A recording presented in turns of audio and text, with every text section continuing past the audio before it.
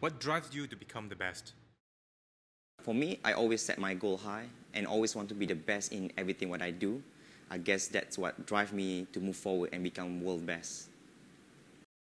How much work did you put into becoming the best?